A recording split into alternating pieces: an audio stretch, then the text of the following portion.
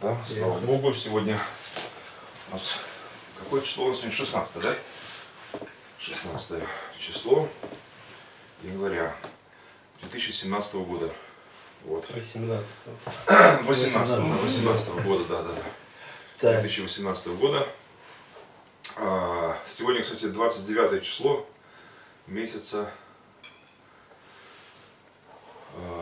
сейчас лунного календаря, это завершение месяца-то. Хорошо. Да. Все, у меня. Так. Все, я включил. Первый вопрос, значит, у нас получается видение. РПЦХ. Видение Да. да, реформаторской православной церкви Христа Спасителя, да? А, Видение церкви нашей, как и вообще, наверное, любой нормальной христианской церкви, адекватной, это спасение грешников. А, Поэтому а, в православной культуре нести Евангелие Иисуса Христа – это главная цель а, православного обновленческого нашего евангельского движения в целом. И считаю, что это достойная цель и правильная цель. Отлично. Ну, это совсем короткий ответ. Ну, постарался. Классно. В чем главное отличие? Так, ну поехали. Я Включаю. То меня напугали. В чем главное отличие от э, русской православной церкви? Ну, я вообще Да, от православной традиционной православной церкви, да, и вот а, обновленческой, реформаторской. А, Главное отличие это христоцентричность. Сам Христос является центром богословия, и на наших литургиях, всеночных, на всех богослужениях мы молимся, в наших церквях мы молимся только лишь Богу. То есть а, посредничество лишь одного Иисуса Христа, а, как именно действительно первосвященника а, нашего исповедания, как Спасителя Господа. То есть э, на практике и в личной индивидуальной жизни христианской, и в общецерковной а, молитве мы молимся только лишь к Богу, обращаемся к Небесному Отцу во имя Иисуса Христа. А также э, всевозможные э, формы идолопоклонства, э, включая э, иконопочитание, э, почитание крестов, мощей и э, прочие элементы э, религиозного оккультизма э, просто-напросто отвергаем, потому что это э, ни в какие э, христианские каноны не входит просто-напросто. Это является имплантированным, э, привнесенным извне э, в тело Христова явлением э, уродливым совершенно, ничего общего с христианством не имеющим. А Потому э, я э, говорю, что даже молимся, если мы молимся за здравие, молимся за живых людей, э, нет как таковой даже отдельно выделенной молитвы за упокой, э, за умерших людей. А, То есть э, приоритет именно библейского богословия, евангельского, вот такого христианского учения.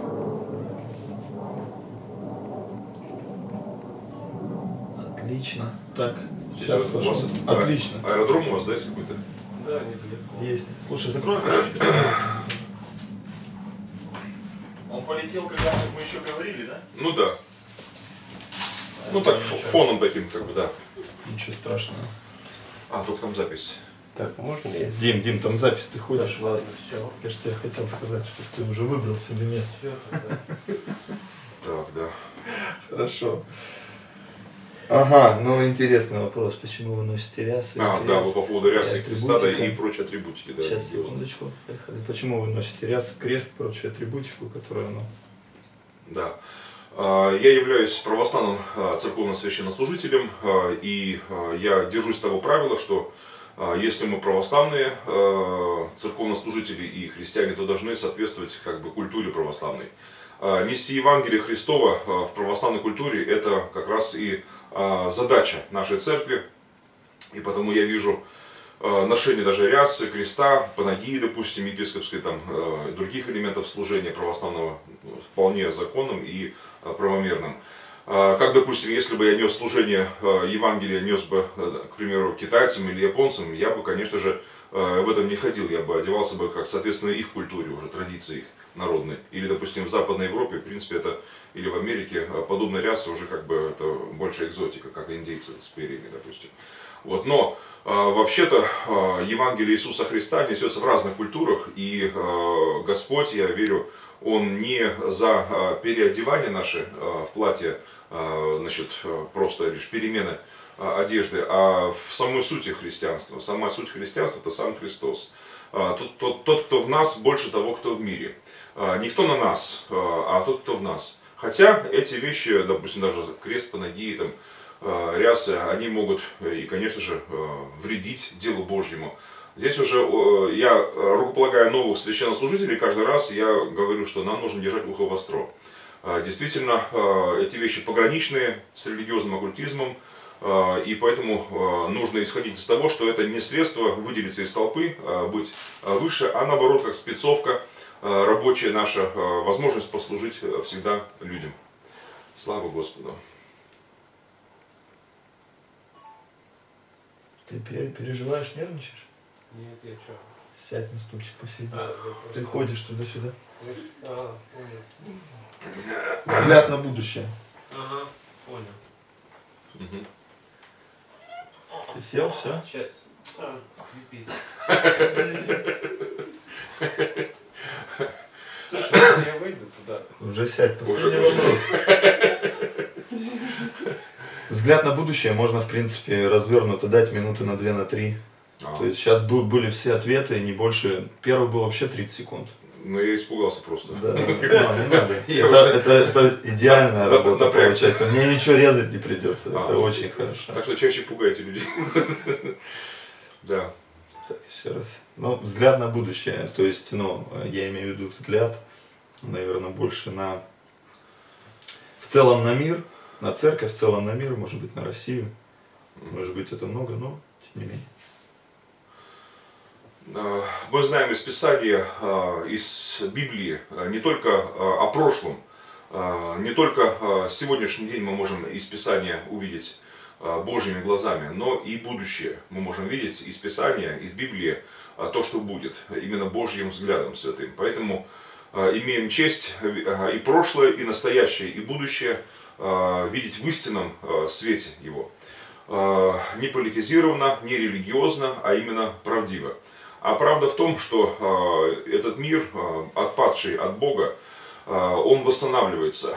Господь действительно исправляет этот мир, и Спасителем является сам Господь Иисус Христос. И поэтому последние дни человечества, я верю, это время покаяния, огромнейших евангелизаций, огромного духовного пробуждения. Почему? Потому что должно исполниться, конечно же, исполняются страшные пророчества Библии, но должно исполниться и великое пророчество Библии, э, которое говорит, что э, сие Евангелие, царство будет проповедано всем народам, во свидетельство им, тогда придет конец.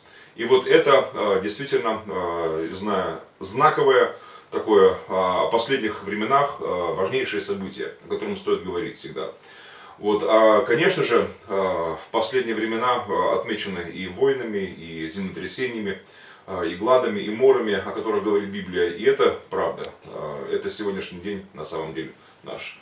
О последних временах а, храм Божий, опять-таки, сегодня это третий храм, это мы, живые верующие, люди, в которых живет Господь. Но есть опасность, конечно же, превращения храма Божьего в вертеп разбойников, что тоже наблюдается, к сожалению. В общем-то, Церковь Божья, как и Израиль, как государство, как народ еврейский, являются здесь такими верными приметами последнего времени, будем так говорить. И ждем возвращения нашего Господа Иисуса Христа. О духовном пробуждении в разных народах, в разных странах уже говорилось неоднократно, разными и учителями, пророками, а, я очень солидарен с этим, что и Россия, и другие страны бывшего Союза, и другие страны мира ждет огромнейшее духовное пробуждение. Но как Чарльз Перджин говорил, что действительно, приближаясь Господь, одно превращает, одно тает, превращается значит, в мягкое, а другое вещество каменеет. И сердца человеческие, конечно же, э, приготовленные к встрече с Господом, они будут мягчеть и в Его любви, а ожесточенные будут еще более ожесточаться. Святой еще будет делать святость, совершенство святости, а нечестивый еще делать нечестие. Вот вкратце то, что должно произойти.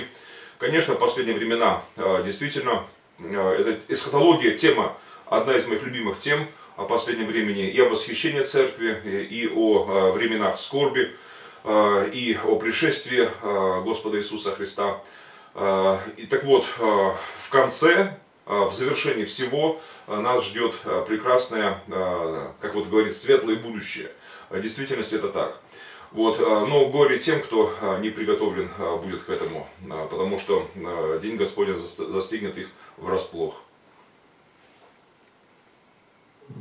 А, Я, честно говоря, даже вот немного теряюсь вот в этой теме, а, чтобы коротко так вот сказать, честно говоря. Отлично, все. Так, вот так я хотел еще снять. И я сейчас еще вопрос задам про что вы читаете. То есть вот э, какие книги вы читаете. Сейчас вот включу. Мне надо крупный план будет прям. А, Сейчас вот так вот прям. сейчас мало читаю вообще-то. Какие книги вы читаете? Все, поехали. Мгм. Перечитываю Толстого Николаевича. А, Значит, особенно его вот роман «Воскресенье», последнее мое чтение как раз. И для меня это пророческая книга. Для меня это книга, а, действительно, а, которую я ну, не приравниваю к Библии, но, скажу, одна из таких пророческих книг о последних временах и о реформации церкви. Вот, для меня это книга, которая помогла мне стать реформатором. Также проповеди христианские Эрла Штегина с удовольствием перечитываю а, «Время начать суду с Дома Божьего». Та самая первая протестантская книга, а, которую я в своей жизни вообще прочитал. Читаю отцов церкви, а, Симеона Нового Богослова, а, просто обожаю его произведения. А, Значит, и, а, конечно же, из наших вот а, Александра Меня, а, а, Антония Сурожского, да, конечно же, это а, действительно а, классика уже. А, И считаю, что в христианстве а, действительно должно быть а, широкий взгляд и а, не узкосектантский, не а, только лишь узкоконфессиональный, а общехристианский взгляд. И для этого, конечно же, служителям я рекомендую знакомиться с работами, с учениями очень разных христианских церквей и произведениями разных авторов христианских и нехристианских в том числе. Так, кстати, недавно... секунду. Сейчас. А. Вот, кстати, я сделал, сделал э, не, э, цел, ну, там, сколько, полторы главы э, целиком опубликовал в своей вот этой работе. Я писал ее когда-то, а, значит, и сейчас хочу тоже издать ее книжечкой отдельной. Пока в интернете только публикую. А так, значит, э, э, назвал я ее, как вот э, ленинское взял название, просто перефразировал. Лев Толстой как зеркало русской реформации назвал. Аминь. Кстати, его Да. же реформация, то есть с чего началась? Э, После перевода Мгм. Слова Божьего. А, Когда переводил, когда Ага. стал доходить, появились вопросы Ну да. всякие, которые он стал задавать священникам, которые не очень нравились. ну да, Да. да. И проблемы потом даже вот он в своем дневнике, я в нете там посмотрел, у него Ага. дневник есть некоторые. Ну да. И он там пишет некоторые, может для кого-то там это слишком даже покоробит, он э, пишет, а, там ставится какой-то колдун М, на самом деле. Ага. Э, а, батюшка, Ну да, да, он пришел к такому пониманию, да, действительно. да. А это очень резало слух тогда. Ну да, да, Да и сейчас. да и сейчас, да. сейчас. А по сути, то, что он говорил, э, если бы тогда бы священники не ожесточились бы, если бы это приняли как бы, ну, вот вообще к сведению, могло быть совсем все по-другому вообще, честно говоря. Потому что там, по сути, я, уви- я лично увидел э, как программу просто вот реформации, на самом деле, церкви, реформирование ее. Отказ от этого колдовства, всякого религиозного, отказ от, от этих, ну, от мракобесия просто-напросто. Возвращение церкви, ну, в нормальное, истинное вот, ну, состояние. Да, ну, как бы это могло показаться как бы ересью в то время, на самом деле. Но а, это правда же была. Вот так вот. Так что он просто непонятый человек в свое время. К сожалению, так получилось. Вы можете сказать мне видение церкви, как и любой другой нормальной церкви, только я с- вот эту фразу, Да. только я вас сниму крупным планом, чтобы мне нарезать потом. Хорошо. Вот вы сказали там видение церкви нашей, как да. и любой другой нормальной церкви, чтобы мне попасть, э, Хорошо. Хорошо. чтобы сделать это немножко так аккуратно.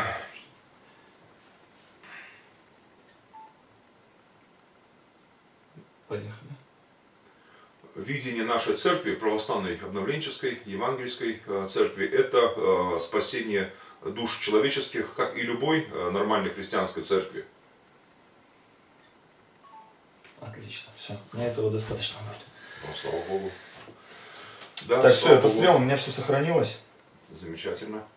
Сейчас еще раз я гляну. И у меня тоже. Так что вот такая у нас сегодня запись интересная. Работа в такой домашней студии. Ну да, э, э, за неимением того, что делаем то, что, что есть у нас. То есть, Что есть, то есть. Вот. я думаю, будет все хорошо. все-таки мечтаю о мастерской своей, а, чтобы там было все как раз. Получается, и студия, не надо будет ничего там а, моделировать, а, придумывать. Взял, поставил и все. Прям с этими этюдниками, холстами, как бы нормальный вид, н- нормальное Слушай, ну, если оформление. это сбудется, э, мечта, это просто чудо Божие. Очень много денег надо. Потому что Так что, да. мастерская это вообще